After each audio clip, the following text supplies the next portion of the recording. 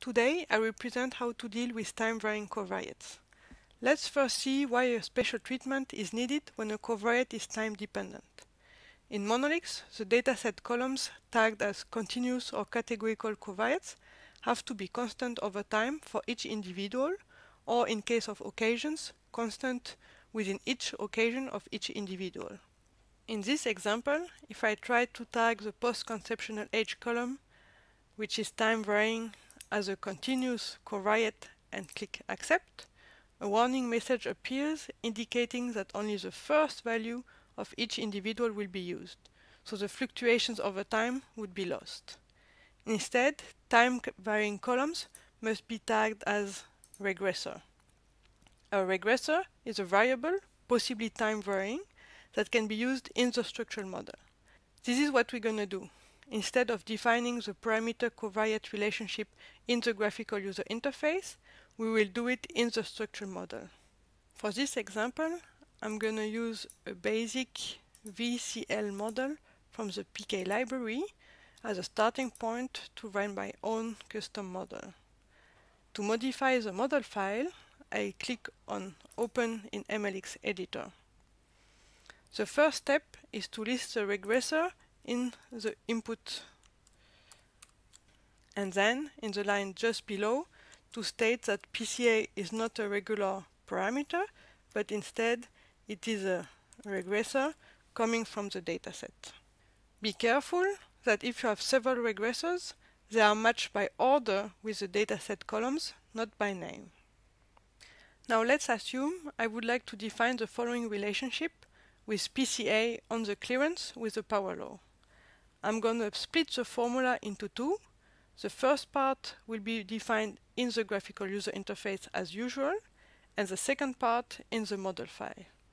Note that the beta parameter is a population parameter that is the same for all individuals. In the graphical user interface, I have defined CL with a log normal distribution without any covariates. CL represents the typical population parameter value plus the random effects. In the model file, I have this CL as an input and I will add the covariate effect using the power law formula. So I will define CL with PCA as being CL, my input parameter, times PCA divided by 9 power beta.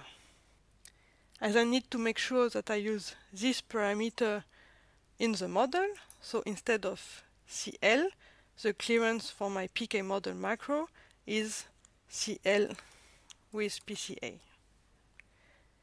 I also need to add beta to the list of input parameters here.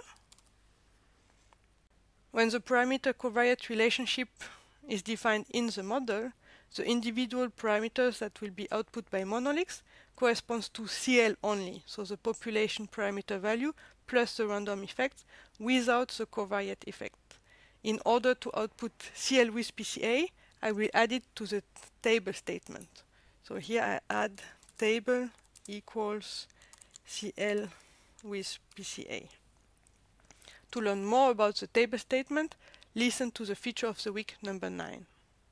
Now I can click on the compile button and as it turns green it means that everything is correct in my model and I can save my model on my computer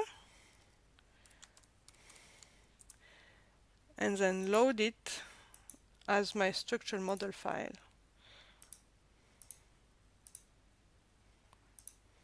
We are almost done. The last thing to do is to remove the random effects on beta such that all individuals have the same beta value.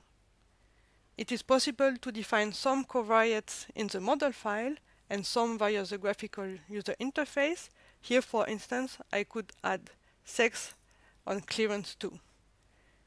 Defining the covariate relationship in the model file makes the estimation process a bit less efficient, so do it only if you need to.